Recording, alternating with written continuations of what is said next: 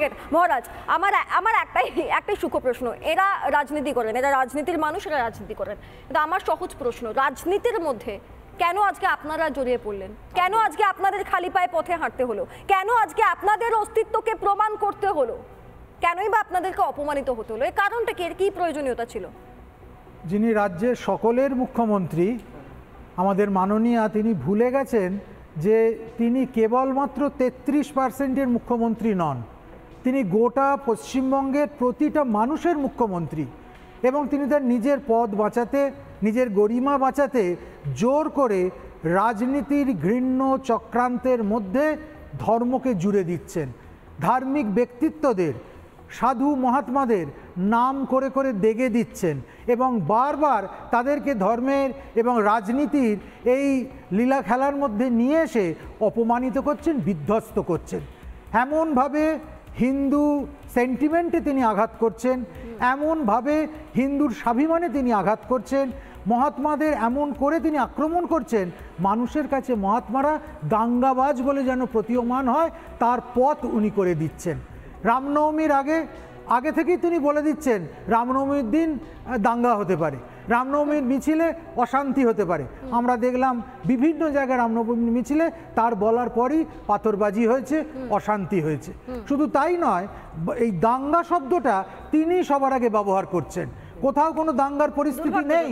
পশ্চিমবঙ্গে। কিন্তু বারবার তিনি বলছেন আমি দাঙ্গার কথা ভাবছি মানে দাঙ্গা হতে পারে এটা থেকে প্রশ্ন একটাই যে এই আবহটা কে তৈরি করে দিল?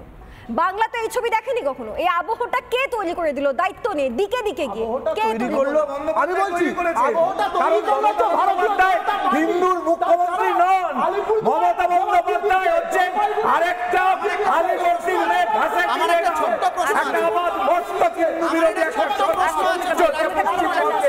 ঘাসেটি বেগমের সরকার। ঘাসেটি বেগমের সরকার চলছে কালে। আজকে তাই দেখে বিজেপির জটটা আসছে আর কিছু আমার আমার একটা ছোট্ট প্রশ্ন আছে সৃজিতা। যে ক্লিপিংসগুলো আপনারা দেখাচ্ছিলেন সেখানে মাননীয় মুখ্যমন্ত্রী সবার শেষ যে ক্লিপিংস সেখানে বললেন ওনার বাড়িতে একটা ছোট্ট ঠাকুরঘর আছে। সেখানে মা ভবতারিণীর পাশেই রামকৃষ্ণ এবং সারদার মূর্তি আছে।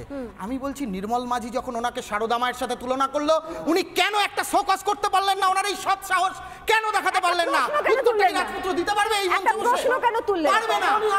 হয়েছিল। ধর্মীয় মহারাজ এসব নিয়ে আঘাত দেওয়াটা ওনার স্বভাব সিদ্ধ বক্তব্য বিরোধী একজন মুখ্যমন্ত্রী আমাদের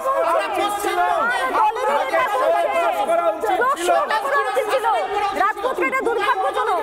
প্রশ্ন প্রশ্ন করতে হতো প্রশ্ন। এই প্রশ্নের আজকে একটু ঝন্টুবাবুর কাছে এই ঝন্টুবাবু আমরাও এটাই বলতে চাইছি যে সবার একটা করে সম্মান রয়েছে সেটা ভাবা উচিত। কিন্তু মমতা বন্দ্যোপাধ্যায়ের একাধিক মন্তব্যে বুঝতে পারলাম না যে কোনটাকে প্রকৃত বলে ধরবো। বুঝতে বলি সংবিধান উনি যা বলেছেন থিওরিক্যালি ঠিক যে প্রশাসন যিনি প্রশাসনের প্রধান, তাকে আর সংবিধানের পঁচিশ এবং ছাব্বিশ নম্বর ধারায় ইনশিওর করতে হবে ভারতবর্ষে যে প্রত্যেকে যেন তার স্টেটে ধর্মীয় স্বাধীনতা এনজয় করতে পারে।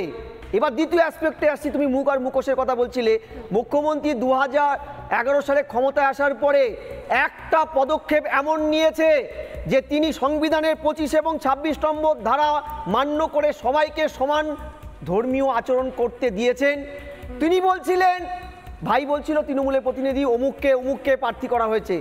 ভাই, তোমরা কি একটা উদাহরণ সেট আপ করেছ সায়নীকে একটি ধর্মের সর্বোচ্চ ঈশ্বরকে যিনি অশ্লীল ভাষায় আক্রমণ করে, তাকে তোমরা পার্টিতে নেওনি শুধু। তাকে কত বড় পদ দিয়েছ আজকে তোমরা তাকে সাংসদ হিসেবে পাঠাতে চাইছো। দ্বিতীয়, তোমার দলের একজন বিধায়ক প্রকাশ্যে বলছে, কেটে ভাগীরথীতে ভাসিয়ে দেবো। একটা পদক্ষেপ তোমরা এখনও পর্যন্ত নিয়েছো? অর্থাৎ বলবে তুমি বলবে তুমি বলবে একদম বলবে সমতা রাখতে হলে তো একদম তোমার? প্রশাসন তোমার মুখ্যমন্ত্রী আপনি এক কি চোখা বলতে আপনি কি সংবিধান মানেন না তিনি হিন্দু বিরোধী যখন বললাম মনে হয়। যে আজকে যে মানুষগুলো রাস্তায় হেঁটেছে তার জন্য মমতা বন্দ্যোপাধ্যায় নিজে দায়ী টাকার পান খেয়ে আপনার ঘরওয়ালিকে আমার বাড়িতে পাঠান এটা বলেন। আমার কথা কারণ সারদা মাকে যখন দিনের পর দিন অপমান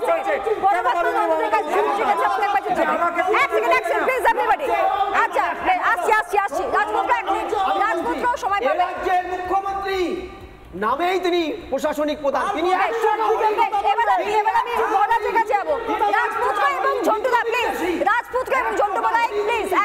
মহারাজ আমার আমার একটাই একটাই প্রশ্ন এরা রাজনীতি করেন এরা রাজনীতির মানুষ এরা রাজনীতি করেন কিন্তু আমার সহজ প্রশ্ন রাজনীতির মধ্যে কেন আজকে আপনারা জড়িয়ে পড়লেন? কেন আজকে আপনাদের খালি পায়ে পথে হাঁটতে হলো? কেন আজকে আপনাদের অস্তিত্বকে প্রমাণ করতে হলো?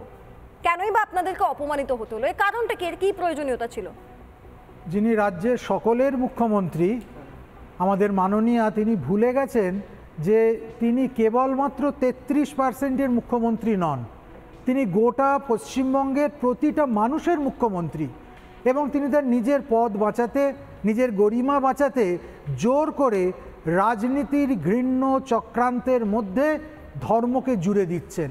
ধার্মিক ব্যক্তিত্বদের, সাধু মহাত্মাদের নাম করে করে দেগে দিচ্ছেন এবং বারবার তাদেরকে ধর্মের এবং রাজনীতির এই লীলা খেলার মধ্যে নিয়ে এসে অপমানিত করছেন, বিধ্বস্ত করছেন।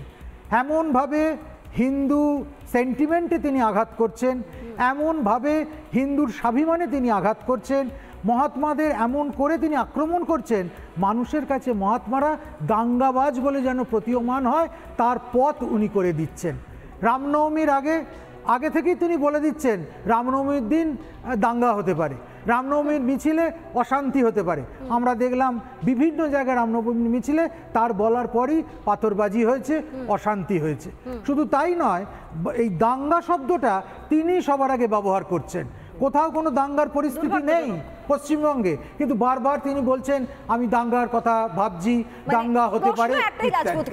এটা থেকে প্রশ্ন একটাই যে এই আবহটা কে তৈরি করে দিল? বাংলা তো এই ছবি দেখেনি কখনো? এই আবহটা কে তৈরি করে দিল? দায়িত্ব নেই দিকে দিকে গিয়ে। কে তৈরি করল? আমি বলছি আবহটা তৈরি করল তো ভারতীয় বন্দ্যোপাধ্যায় জনতা পার্টি। হিন্দুর মুখ্যমন্ত্রী নন।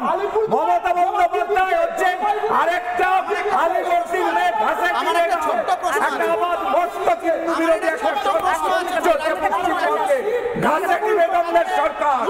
ঘাসেকি বেগমের সরকার চলছে কালে আজকে- তাই দেখে বিজেপির জটটা আসছে আর কিচ্ছু আমার আমার একটা ছোট প্রশ্ন আছে। সৃজিতা যে ক্লিপিংসগুলো আপনারা দেখাচ্ছিলেন সেখানে মাননীয় মুখ্যমন্ত্রী সবার শেষ যে ক্লিপিংস সেখানে বললেন ওনার বাড়িতে একটা ছোট্ট ঠাকুর ঘর আছে সেখানে মা ভবতারিণীর পাশেই রামকৃষ্ণ এবং সারদার মূর্তি আছে। আমি বলছি নির্মল মাঝি যখন ওনাকে সারদা মায়ের সাথে তুলনা করল উনি কেন একটা শোকস করতে পারলেন না? ওনার এই সৎ সাহস কেন দেখাতে পারলেন না? উত্তরটা রাজপুত্র দিতে পারবে এই? প্রশ্ন কেন তুললেন? পারবে না। পারবে না। ধর্মীয় আঘাত